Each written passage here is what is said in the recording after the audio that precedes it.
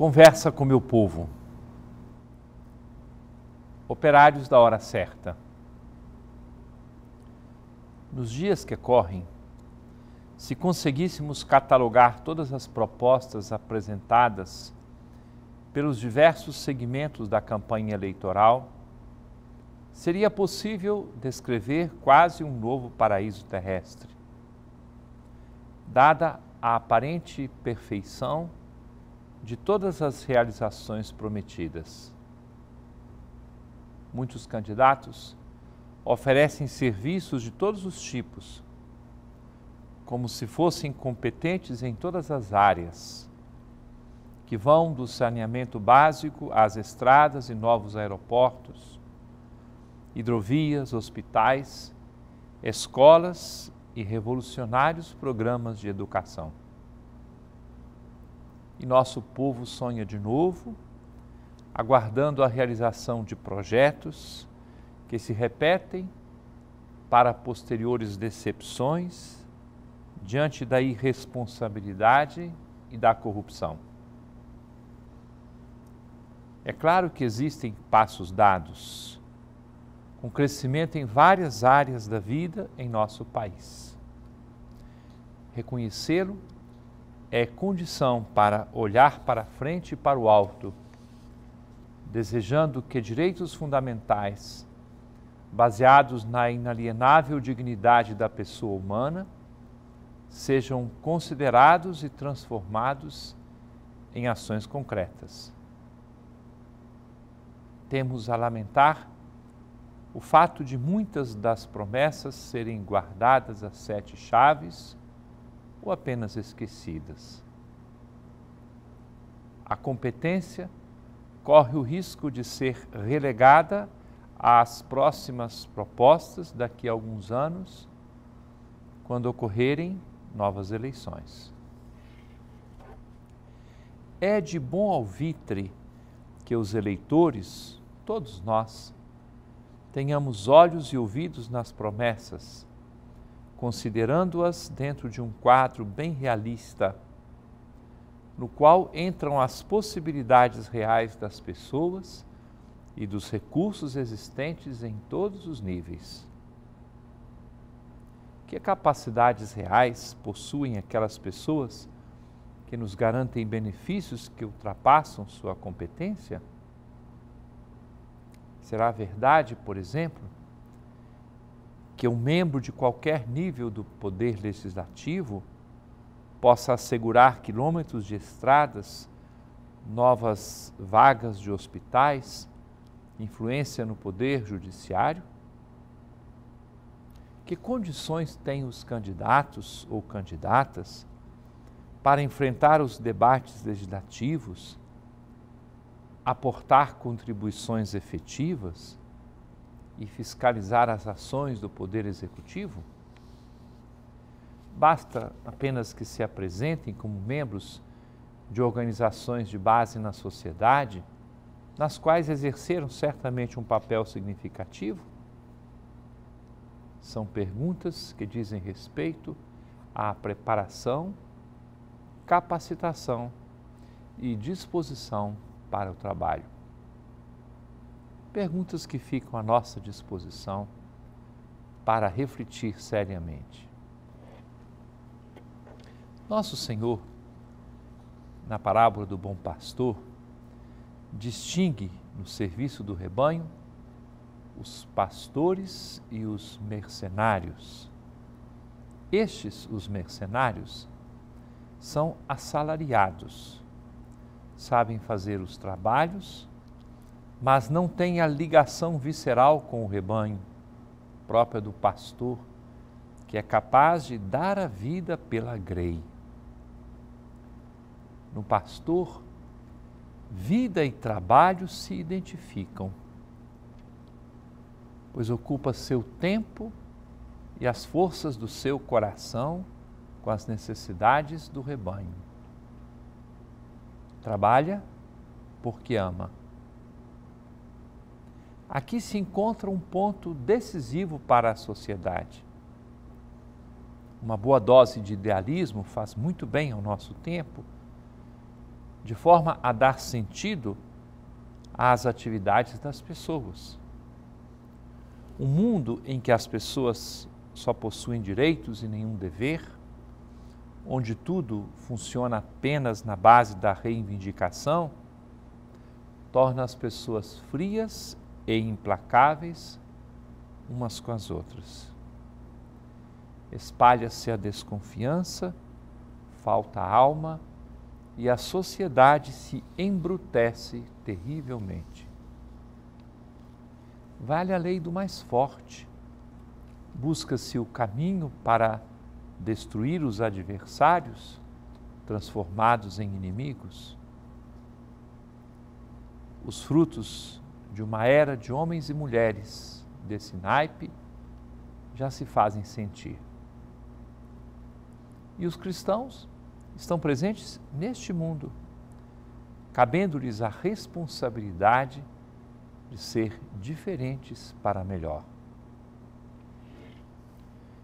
O servo de Deus, Cardeal François Xavier Nguyen Vantuan, cujo processo de beatificação está adiantado em Roma, com o qual tive o privilégio de desfrutar bonita amizade, pregou um retiro na Cúria Romana, convidado pelo Papa São João Paulo II no ano 2000.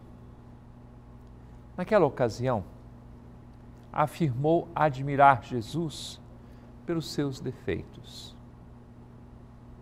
Todos estes são, na realidade, qualidades. Mas vamos a um desses defeitos. Dizia Vantuan que Jesus é um péssimo administrador.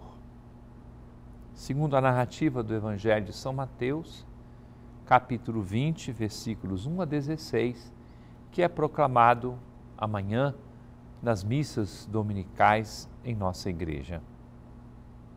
É a parábola dos trabalhadores da vinha. Os vários operários, tendo trabalhado oito ou uma hora, receberam o mesmo salário. Não afirma a administração que funcione assim. É que Jesus, com a parábola que conta, mostra que ele vê o mundo de forma diferente e propõe novos critérios a serem aproveitados, inclusive, em nosso tempo. Para o Senhor, a preferência vai para os últimos e pequenos, desprezados por todos. O mundo que só olha para os mais sofredores em espasmos eleitorais não pode dar certo. Quantos dos nossos bravos candidatos estão dispostos a arregaçar as mangas e ir às periferias geográficas e existenciais de nosso país? Quais são os verdadeiros interesses subjacentes aos projetos políticos dos partidos em disputa?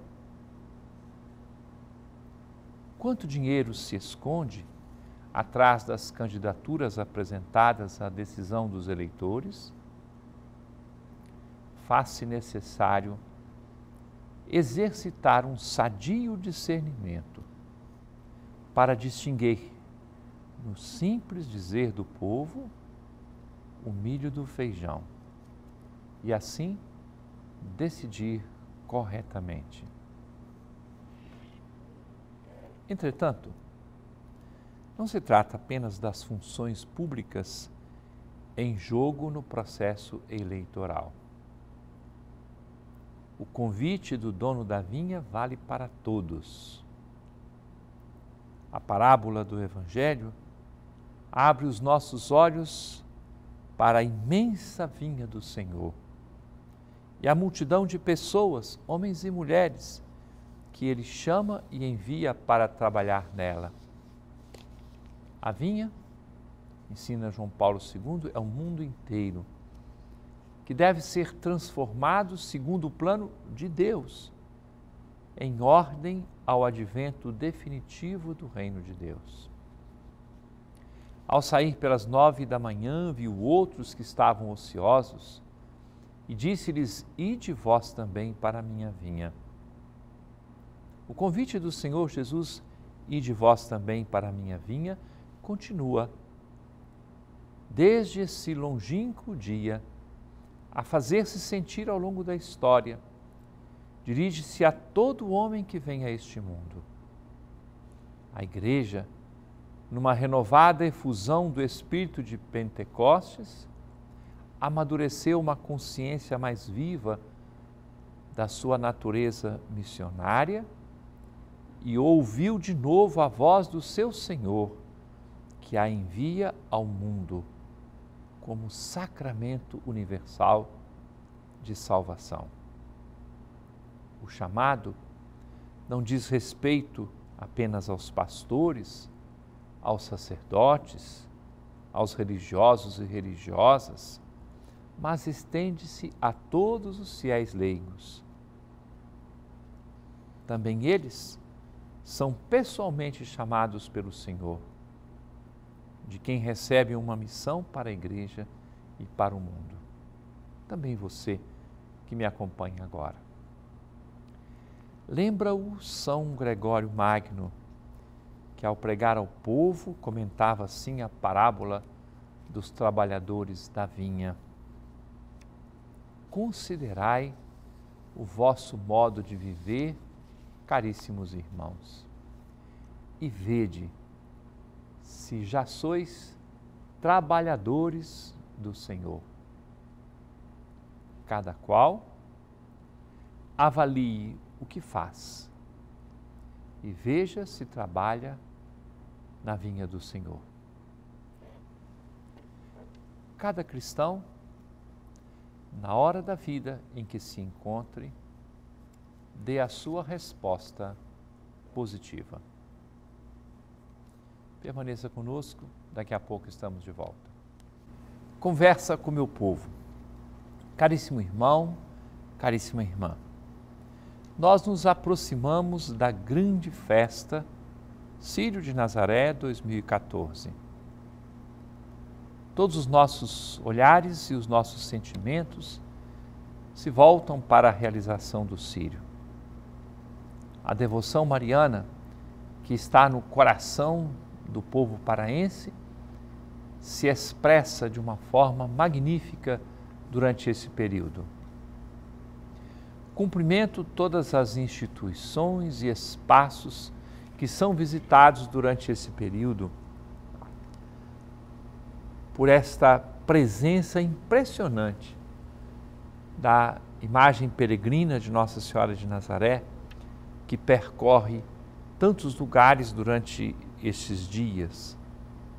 Até devemos pedir desculpas a pessoas que nos pediram e que encaminharam à diretoria do Sírio as suas solicitações, porque apenas por questão de tempo mesmo, nem é possível ir a todos os lugares que tem requisitado insistentemente esta visita da imagem peregrina. E posso assegurar-lhes, aquelas caminhadas, peregrinações ou pequenos sírios que nós fazemos, e eu vou a vários destes eventos, tem sido uma oportunidade privilegiada de evangelização, de formação, de diálogo com as pessoas. As portas das casas se abrem, as pessoas participam das peregrinações do Sírio e assim nós temos a grande alegria de fazer uma preparação através da qual mais de 100 mil famílias, ano passado chegamos a 120 mil, são visitadas durante esse período. Nós vamos às prisões, vamos aos hospitais, às escolas, repartições públicas, casas comerciais, todos os lugares que se preparam e acolhem para esta visita da imagem peregrina de Nossa Senhora de Nazaré. E nós vivemos de forma muito especial uma intenção nesse período. Sabemos que o mundo todo anda machucado, machucado pela violência, machucado por situações políticas terríveis. Então nós precisamos pedir e pedir confiantemente e pedir muito nas intenções do nosso mundo para que o Espírito Santo conduza pessoas e instituições no caminho da paz. Queremos rezar nessas intenções. Queremos pedir pelas nossas famílias. E a Igreja Católica terá, dentro de alguns dias, uma assembleia extraordinária do Sínodo dos Bispos, convocada pelo Papa Francisco, que vai se encontrar em Roma para analisar os grandes desafios ligados à família em nosso tempo. É outra intenção de oração. E neste ano nós escolhemos como tema do Sírio um pedido que está numa canção do Padre Zezinho.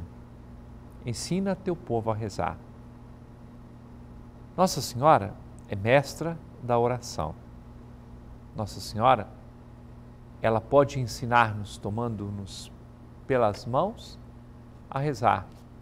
E quem está fazendo as peregrinações do Sírio deve estar acompanhando em cada um dos encontros uma parte do Pai Nosso. Que beleza! É um contato cotidiano, profundo, sério com a palavra de Deus que nós estamos oferecendo através das peregrinações do Sírio.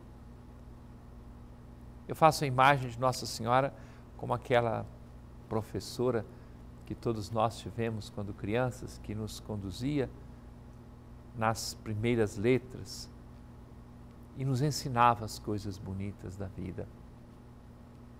As realidades da nossa fé são ensinadas por esta presença mariana tão importante. Uma pergunta que me chegou a respeito da Assunção de Nossa Senhora veio do senhor Raimundo Arruda Filho, que de vez em quando manda perguntas a respeito de assuntos da vida da igreja. E ele faz a pergunta a respeito da Assunção de Nossa Senhora. Como ela poderia ter entrado no céu em carne? E ele cita 1 Coríntios capítulo 15, versículo 50, que carne humana não pode herdar no reino de Deus, não pode entrar no reino, do, no reino de Deus. Sendo uma assunção em corpo e alma, que deveria ser um acontecimento extraordinário, faz uma série de perguntas, chegando por que essa verdade só se manifestou em 1950 como dogma de fé pelo Papa Pio XII. Antes de 1950, o mundo cristão cria nisto que o 12 foi inspirado pelo Espírito Santo para afirmar isto ou foi simplesmente para marcar o seu pontificado? Senhor Raimundo, eu agradeço muito a sua pergunta, porque ela contribui para responder questões também a muitas outras pessoas. Um dogma de fé não é uma afirmação ou exagerar. O Papa acordou uma inspiração, então agora ele vai fazer aquela afirmação, uma declaração de um dogma. Não é assim. Os poucos dogmas de fé que foram declarados por concílios e por pontífices, eles o foram a partir de uma reflexão séria que amadureceu no correr da história. A Assunção de Nossa Senhora é proclamada por escritores desde o início da igreja, já no século II da igreja e no século III, nós já temos escritores que acenavam ao fato da assunção de Nossa Senhora. É uma convicção que foi crescendo no meio dos cristãos. Prudentemente, a igreja nunca faz uma declaração como dogma de fé a ser aceito por todos os cristãos, a não ser quando esta verdade é analisada por tantas pessoas, por teólogos, e se reflete e se vê o fundamento da Escritura e se vê aquilo que a igreja professa. Nosso Senhor disse que o Espírito Santo acompanharia a igreja, iria explicar todas as coisas. Então, no correr da história da igreja, ela toma consciência das verdades, das consequências daquelas verdades fundamentais que estão na Sagrada Escritura. No século XIX, aconteceu a proclamação do dogma da Imaculada Conceição. Havia uma verdadeira pressão do povo de Deus durante séculos para que essa verdade fosse reconhecida claramente para todos os cristãos. Só que a igreja prudentemente passou muito tempo refletindo, rezando, estudando antes de fazer essa proclamação do dogma. Quando houve a proclamação do dogma da infalibilidade papal, também no final do século XIX, não foi uma invenção. Até porque o Papa não é infalível enquanto pessoa humana. O Papa, como você que me acompanha agora, do mesmo jeito que eu também, o Papa é pecador. Ele precisa também do perdão de Deus, ele precisa do sacramento da penitência. Quando a igreja proclama que Nossa Senhora foi assunta ao céu em corpo e alma, a igreja se liga a todos os privilégios. Aqui o Senhor acena que Nossa Senhora também foi salva. É verdade? É verdade? Em previsão dos méritos de Cristo, em previsão dos méritos de Cristo e por causa dos méritos de Cristo, porque Nossa Senhora é criatura como todos nós ela é redimida. O que a igreja tomou consciência de que ela é redimida com um privilégio especial, já gerada, concebida, sem a marca do pecado original, por causa da missão que Nossa Senhora recebeu no plano da salvação. Portanto, em consequência desta realidade, desde os primeiros séculos, o senhor Raimundo até diz assim: mas como é que Pedro, Tiago e João não deixaram nada escrito a respeito disso? O Evangelho de São João diz que se tudo aquilo que nosso Senhor fez tivéssemos que escrever, nem o mundo inteiro caberia todos os livros que seriam necessários. A igreja tem consciência de que a formulação da fé aconteceu progressivamente os fundamentos estão na Sagrada Escritura. O fato de Nossa Senhora ter sido preservada em corpo e alma, ter preservada do pecado, o fato da Escritura dizer que Jesus é primícia dessa nova criação, levou a igreja a esta convicção de que o primeiro fruto é exatamente aquela que foi preservada de toda a mancha do pecado original e, portanto, ela passa na frente como um sinal glorioso, como o Apocalipse fala da igreja e se aplica também a Nossa Senhora, este sinal colocado para a nossa caminhada, para a nossa fidelidade a Nosso Senhor. Observe também que quando se fala corpo e alma, não significa que lá no céu nós teremos o corpo igualzinho a este aqui. É corpo glorioso o senhor já viu quando Jesus apareceu depois da ressurreição, ele passou pelas portas fechadas. Este corpo, exceto o de Maria e de Jesus, este corpo ele vai ser corrompido na sepultura. O que aconteceu com Jesus e depois com Nossa Senhora, pela graça que lhe foi concedida pelo seu próprio filho, nós passaremos um caminho diferente. No entanto, nós seremos nós mesmos na eternidade e teremos então esse corpo glorioso. É assim que nós esperamos, temos a certeza pela fé que nós professamos. A todos, meu abraço e a minha bênção e desejo de que vivam bem o final de semana. Abençoe-vos o Deus Todo-Poderoso, Pai, Filho e Espírito Santo. Amém.